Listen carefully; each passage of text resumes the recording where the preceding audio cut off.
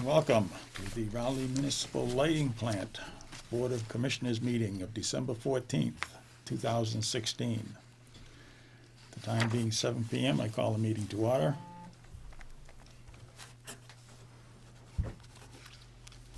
First order of business is citizens' query will be from seven to seven ten P M.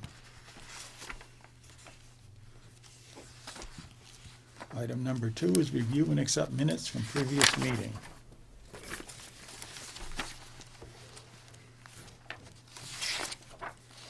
Everybody had a chance to uh, look at the October minutes? Yeah.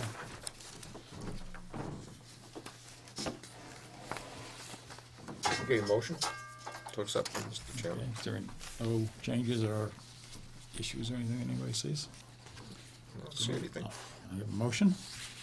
Seconded. Motion made and seconded. All those in favor of accepting the October twelfth, two thousand sixteen Commissioner meeting minutes signify by saying aye. Aye. Aye.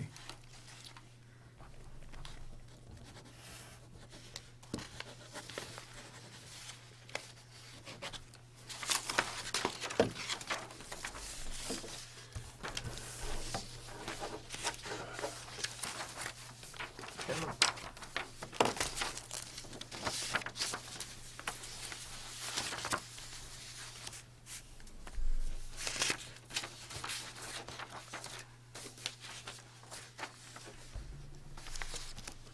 Thank you.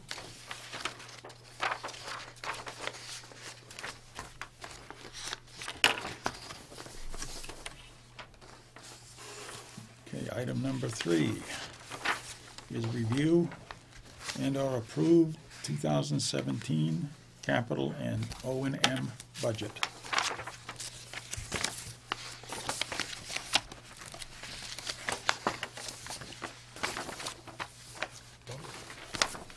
Thank you. Mm-hmm.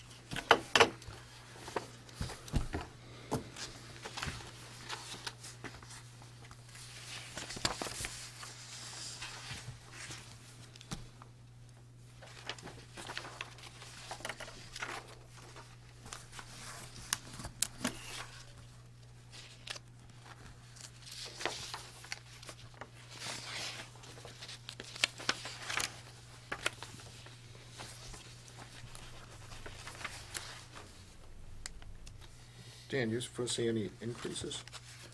Very mild increases, uh, only on some accounts. Most of the accounts I held steady uh, from last year.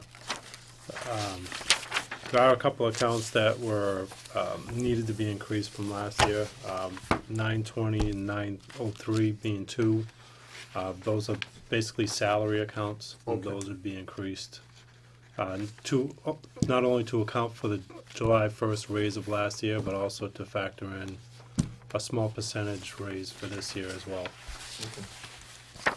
But other than that, most of the accounts have stayed uh, flat, if not a one or two percent increase. Very good. Good.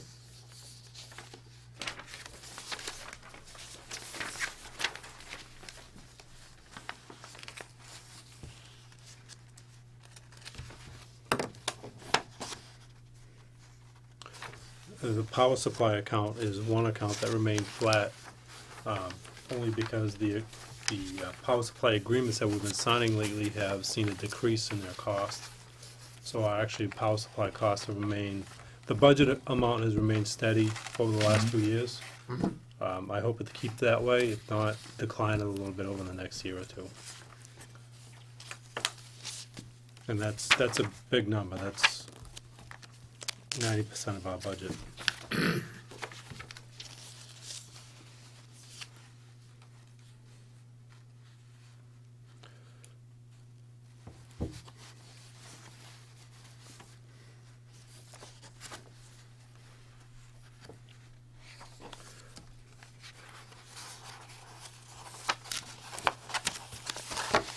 On the revenue side of it, we did, so- I did a little bit of rebalancing in the revenue accounts.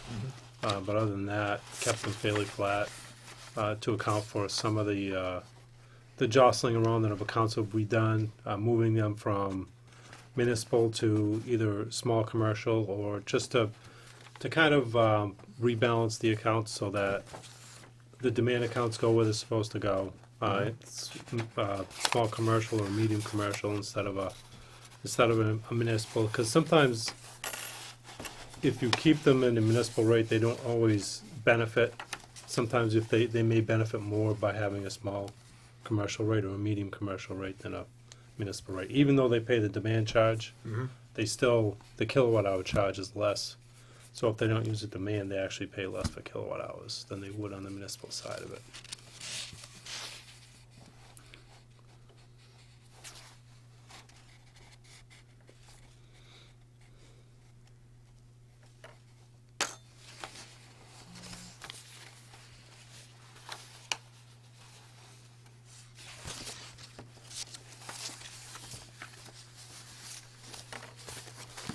Poles we looking to replace next year?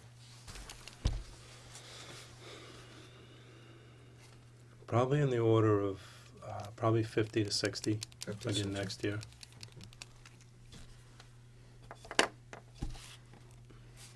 Any trans, transformers also, or is that just in case of, more to replenish stock than anything else. We haven't had a lot of residential development where we would need to, Right. to purchase tran- new transformers. The only ones that we've purchased would be for voltage con- conversions rather than new residential development. okay, On the commercial side, we have purchased a few large transformers for, but those have been purchased by the developer instead of by the light Right. department. sure. Okay.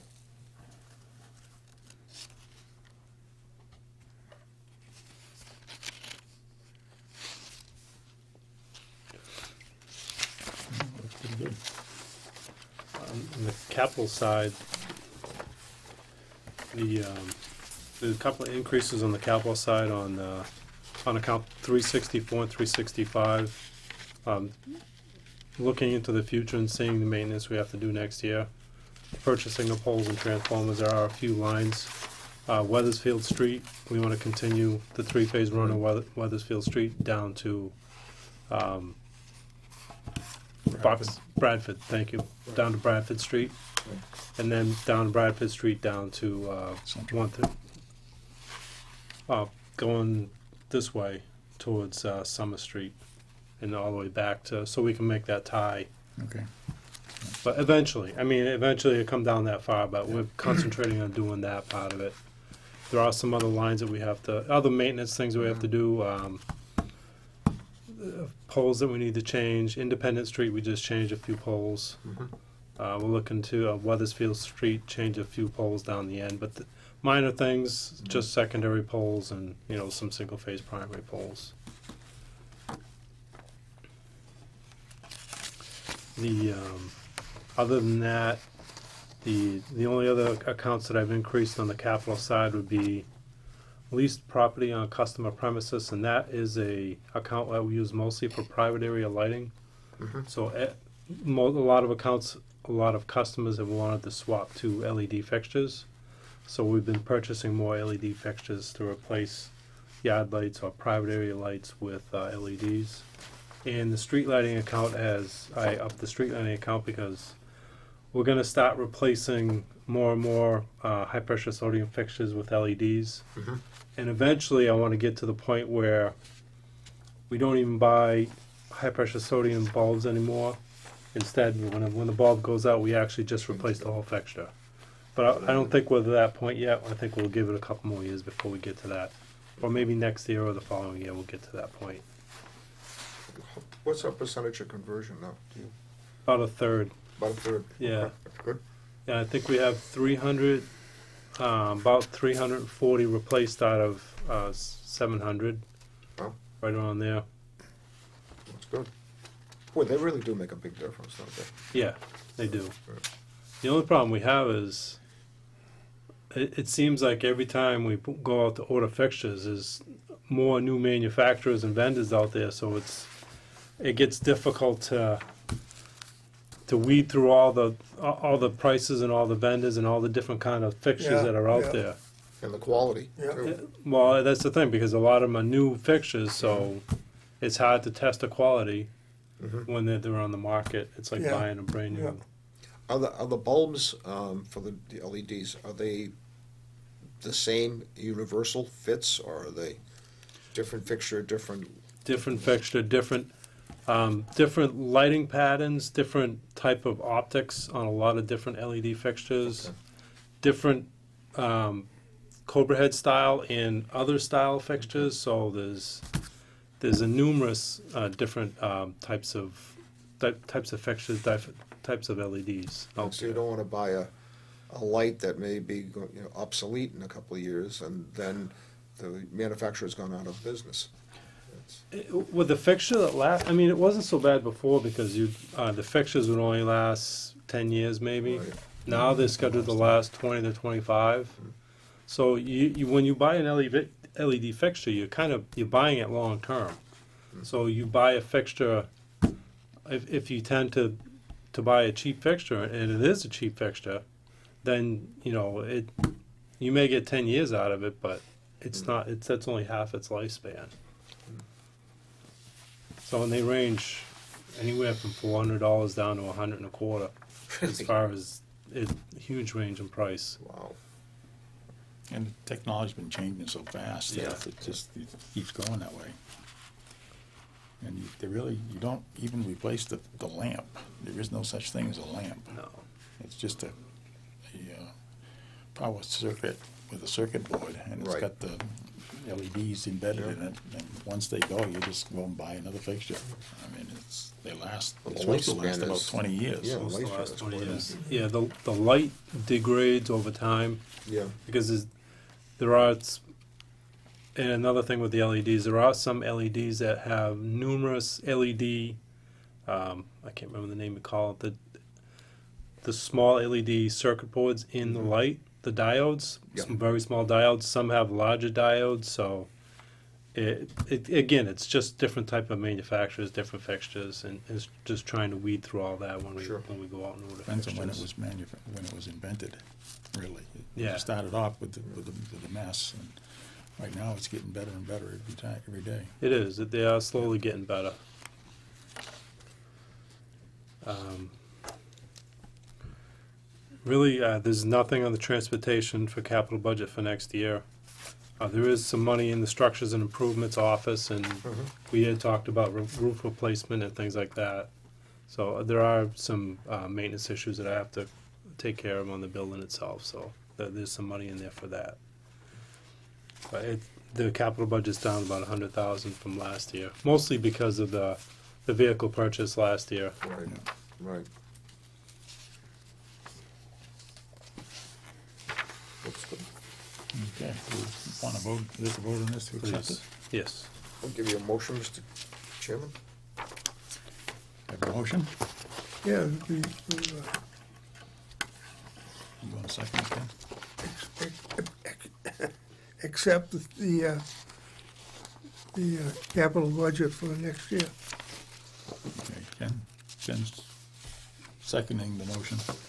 All those in favor of accepting the capital budget for two thousand seventeen, signify by saying aye. Aye. Aye, opposed? Motion carried. Thank you. Okay.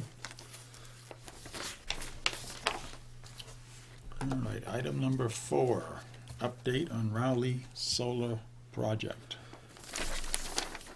It's been kind of a roller coaster ride with this, with the solar project. Um, It went through a number of different phases. Um, there was a phase when it was really, really good to go and we were, were- everybody was excited about the project. Not that I'm not excited about it now, but then it was, kind of the brakes went on when, um, the Conservation Commission ruling was challenged. Uh, they have since, um, the DEP has ruled on that and they have basically, uh, gone ahead and said the Conservation Commission was correct. They've agreed with the ruling, so they've uh, passed that test. The person who put in the challenge on the on the Conservation Commission appeal, I mean ruling, did not appeal it, so they did not go to the next step. So basically, they got the okay to go ahead with the project. So the project is is a go. Uh, we're in the final stages of negotiating the purchase power agreement, which should be done within the next, I'd say, next couple of weeks. The, uh, the project is going to financially close with the financial developer probably within the next week or two as well. Um, the project is scheduled for construction early next year, uh, with a final completion date and output by June of next year. So it, it is a go, it is moving forward, uh, there's just some very small final details that we have to work out with the, with the developer, and then we'll be good to go. So. Now, Are both projects going forward? There's, there's been a rumor that the, I don't think the Route One one will not make it, will make it because there was a lot of, when they did the test boring at the site, they found a lot of material or, or ledge underneath that they could not drive the pilings into. So financially, it wasn't gonna hmm. make it only because of the extra work they had to do on the site. So there hasn't been any talk of it. I'm not gonna say it's, it's it's it's done. completely done, but I know I've But- heard, that there's been some rumors floating, so. But those things happen. Yeah, and, and the, um, the IA, or int- interconnection agreement has been negotiated for both sites. So the, that site could move forward if they, if they decide to. It's just, a- and they did get the Conservation Commission to rule on that site as well. So they got that approval, it's just a matter of whether or not they wanna, uh, go forward with that project. Okay.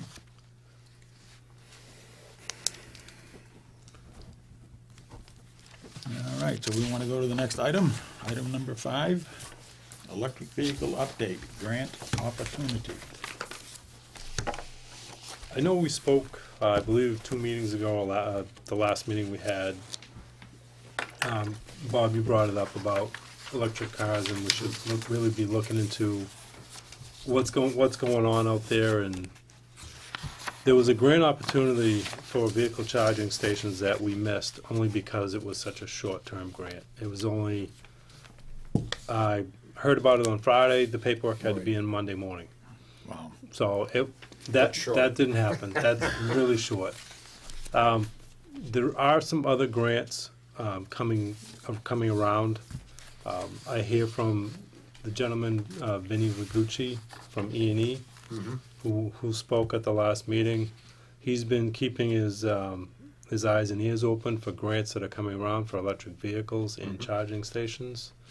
Um, I did forward you a program that uh, Braintree Electric Light Department is is doing currently. Right. Um, th- it's a really neat partnership between the municipality and local um, dealers of electric vehicles and a, another. Uh, was the other contractor? Uh, Sagewell, uh, and Sagewell was the third party in the in the agreement, and um, it's something. It's it's a really neat program. Braintree residents get to test drive a vehicle at home, so they schedule it with the dealer. Their preferred customers at the dealership and whatnot. Not sure if this is what we want to go forward with. That's kind of what I'm looking for from the commissioners as far as where we want to go with this. Do we want to delve into um, something of this magnitude? Do you want to delve in just to move forward with rates and charging stations and because part of this program is they have intelligent charging stations so that Braintree is able to um, they're able to set when the charging stations come on mm-hmm. so that and Bob you'll kind of get where I'm going with this. Mm-hmm. If you have a lot of charging if, if this really takes off and Braintree has 150 200 cars mm-hmm. everybody comes home work at five o'clock everybody plugs their car in and Right. instantly. They they're adding two megawatts to their peak at that right right at that current time Right. so what the intelligent charger does, and it, it's also programmable in the car, but the intelligent charging station, what it does is, you can tell it to not come on right when the customer plugs their car in, but at a set time in the evening, when during off-peak pricing, Okay. so that the customer's car mm-hmm. isn't charging when prices are high on the at the wholesale level. So, and it's an interesting program the way they're doing it. And if you want, I can talk to um, Sagewell and kind of Mhm. get what else they're doing uh, for different customers, whether it be a municipality or even IOU, just to see, you know, if there's, if, even if they can tailor something like this for us, Hmm. And we can look at it and say, oh, yeah, that, that would fit for us, or that wouldn't fit for us, Well, we or, got, we got a few projects coming down the road. Uh, I don't know if you've heard about the uh, motel that's over here. There's a purchase and sales agreement on it, and they're going to uh, change things around over there. And to me, that would be an ideal spot to put in some charging stations. Because you got people coming in from out of town. Uh, A lot of them, if this electric vehicle thing goes, will probably be using electric, um, at least some of them will be anyway. And uh, they're gonna change the whole situation over there around. They're gonna take a lot of the buildings down. They're gonna put a restaurant in, down in the back side of it, next to the house, and the house is gonna be part of the restaurant. It'd be a way to try, attract, um, business into town. Mhm. Also, um, do you think the train station would be a, be a place for it? Part of that grant uh, that I was mentioning earlier was it had to be in a. It was preferable to be in a public place Okay, that people frequented. So I mean, the commuter ra- commuter rail station is a perfect opportunity because they come in, uh, they park their car for the day, they charge it, and then when they get back in at night, it's charged. They go home. Who pays for the, It's um,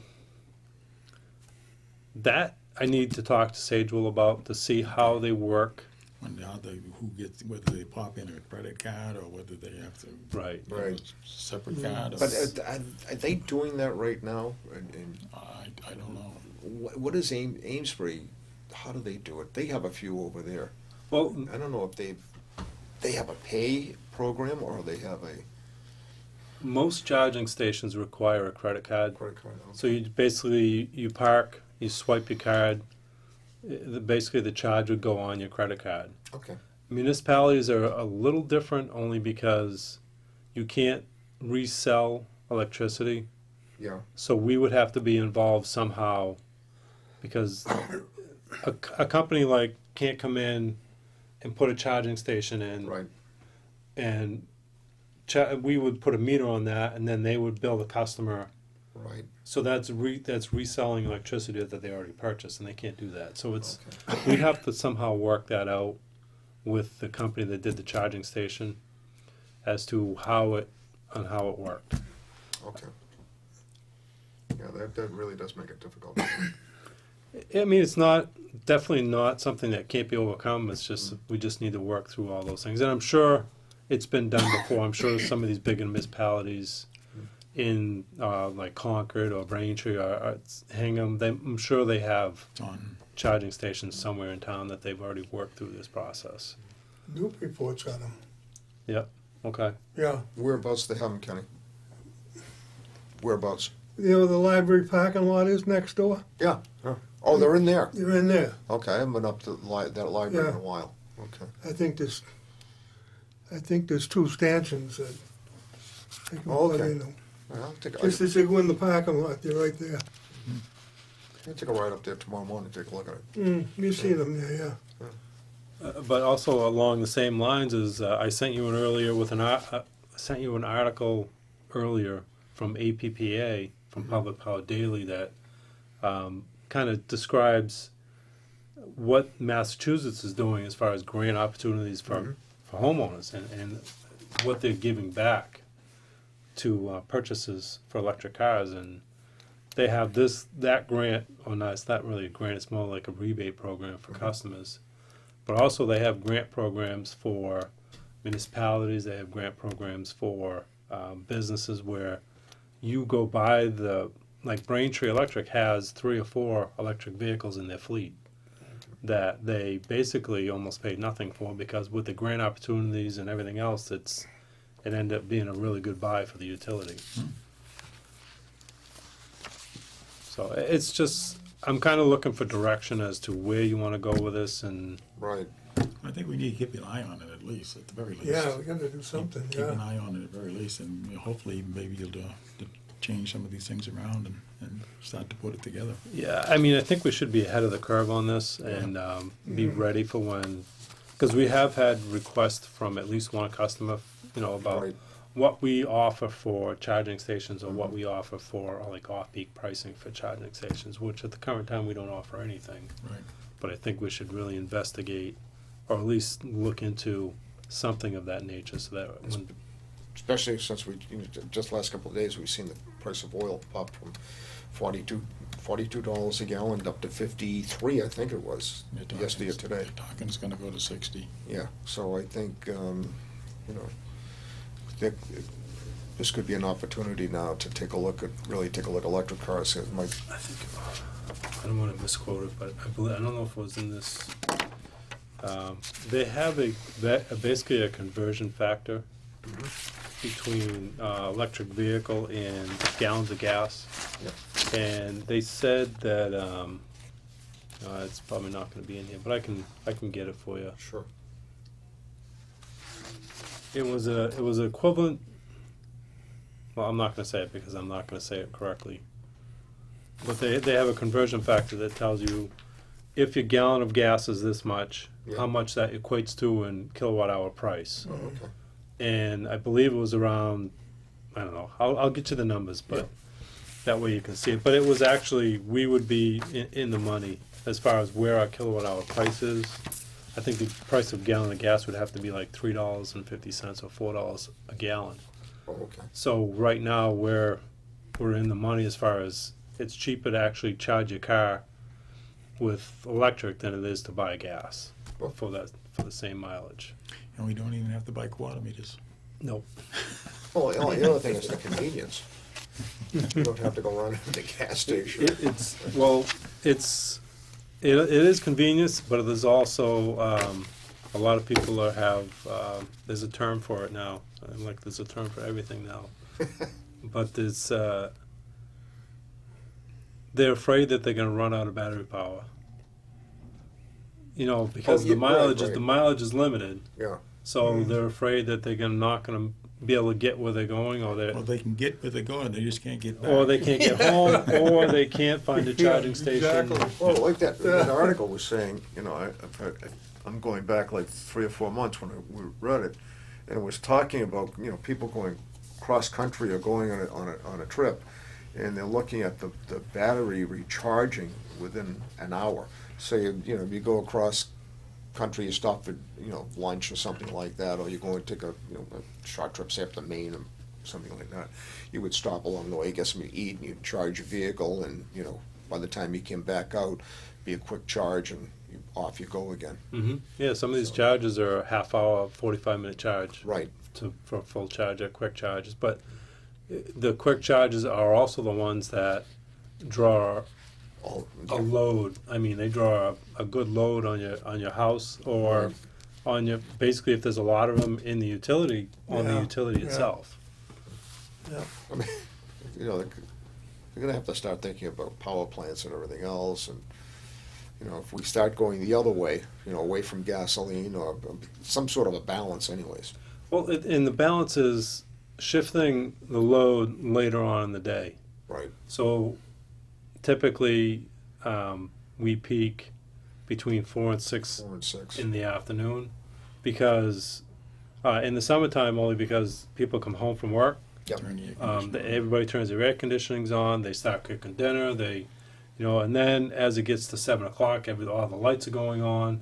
So it's with an intelligent charger, you can actually shift that later, so that the car is not adding to that already aggressive load at that time. So you can actually shift it to nine or ten o'clock. And this, and, and Bob, you can help me with this. It used to be very prevalent to have off-peak metering Oh, everybody had it. it, it was they we were controlling water tanks we were controlling Air conditioning units. yeah i mean it, but but then that has since faded away but now it's starting to come back around Coming again back on this, with this particular. especially with the especially with the price of electricity during the day Right. is so high compared to off-peak hours that people are going to start offering it only so they can so we can shave that spread the load out more evenly over the day rather than having these big peaks in the afternoons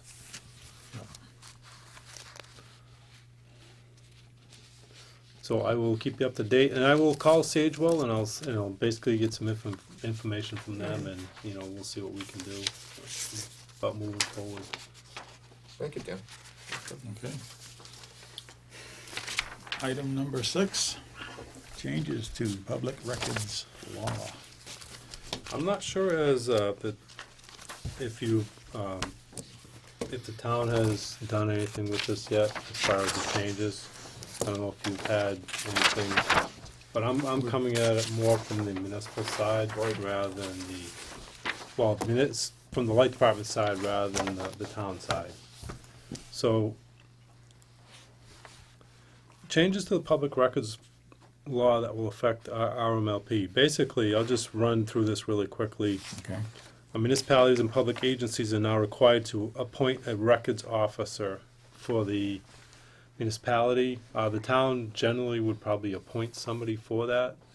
Generally, it's the, probably the town clerk. I'm not sure if town of Rowley has done that yet or not. Um, I mean, at least from the Board of Selectmen's side, it wouldn't be the town clerk Yeah. as such, but it would be the administrator. Administrator. Okay, Uh, I'm, not- yeah, and that, In and our that doesn't really case. matter. It's, Right. It usually when the, the town appoints uh, a records access officer, it would be for the whole town. Um, she, she may not necessarily have access to the records of the light department, but the, the request would go through the, re- That person. yeah, Yeah. exactly. And then I would communicate with that person to get them the records that, you know, Okay. for the public records request. If we appointed, uh, RAO, it would be, it would require compliance with certain legal requirements, uh, including publishing guidelines to requesters, and that may be le- that may be best left to the town itself. It would be easier for just one part, of one person in town to do it rather than multiple Sure. agencies in town. Uh, individuals who have previously responded to requests may still do so even with the appointment of an RAO. So if the public request came into Debbie, Debbie said, please handle this, um, I would actually just respond to the request directly, cause you can still do that, we've done it before. Um, previously you had ten business days in which to issue a response to a request. Now that, now within that ten day period, the request must be actually fulfilled. If the request cannot be completed in ten days, you must petition the supervisor of public records for an extension. So if it's overly o- o- or, or, yeah, we won't be able to say that, Onerous? onerous, thank Yes. you. Then you, then you can request, you can actually send a letter to the requester saying, you know, we need more time to do this, and that letter has to have certain information in it. But it also has to go to the supervisor in order to get the extension. The supervisor at the state level. Yep. If the request is burdensome or cannot physically be completed in ten days, a letter to that effect, which we just kind of went over. Um, But now we must receive permission to respond beyond ten days, and the new law indicates that we can receive up to an additional thirty days of extension. Uh, agencies can receive thirty days, while municipalities can only get up to twenty days, and basically, light departments are a little, they're not quite a municipality as, Mhm. like the town's a municipality and they're not an agency. But I would say we just stick with the twenty days and it would be easier that way. Um, any questions or so far? Municipalities must provide commonly requested records on a searchable website to the extent possible. So where that involves us is basically putting minutes on our website. And I've started to do that with the two thousand sixteen, uh, mi- minutes. Um, I think that would probably satisfy everybody as far as going, you know, start, just starting with January of sixteen and going forward. Um, there is a note on the webpage, uh, where you can find the minutes that anything previous to two thousand sixteen, you can just get them at the office with a records request. And that is the most popular request for a municipal light department is the minutes of meetings. Uh, if you must, uh, search, redact, and or copy records no more than a twenty-five dollar an hour charge, uh, twenty-five dollar can be charged to the requester unless petition is filed with the supervisor. Before, I believe, was the highest paid person doing the records redaction or Right. search. Now it's limited to that twenty-five dollars per hour. Uh, if you lose a public records request dispute, you can be required to pay the requester's attorney's fees.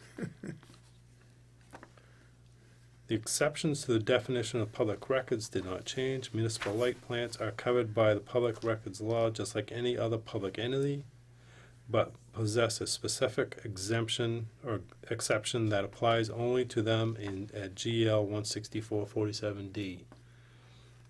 And basically what that is, is competitively sensitive material, um, power supply agreements, things of that, you know, things of that nature, we can actually say, you know, this is, you know, not requestable public information, Right. It's because it's you're competitively dealing sensitive. with multiple providers of the electricities, and you really don't want to be playing one against the other, so. Mhm. And, and that's, And that- that's been around for a while. That's been around for a while, and that's a specific exemption you have to cite when you actually do the, um, go into executive session, you actually cite that Yeah. Particular, particular section of the law. So it's, it's not, it's not that bad, it's not, um, it's definitely something we can handle, it's just I wanted to make you aware of it, and the fact that, you know, it's just something we have to do going forward. Yep. If you need a copy of the actual, um, public records, I'll just let me know, I'll, I'll forward you a copy of it. But other than that, it's, it's a lot of boring reading. Yes. Yeah. Okay, is there anything else that we, If there's nothing else, Mitch, I'm gonna give you a motion to adjourn. yeah, takes priority? There was uh, a comment on that uh, um, solar project. Have you seen the one in Newbury No, on Route One? no. You know where the, tra- well, when you get to the lights there that, w- that go to Plum Island, Yeah. that, that right there, there's a trash company right across the street. Right beside the trash company, there's a big solar, there's a big solar farm going in there. Oh, really?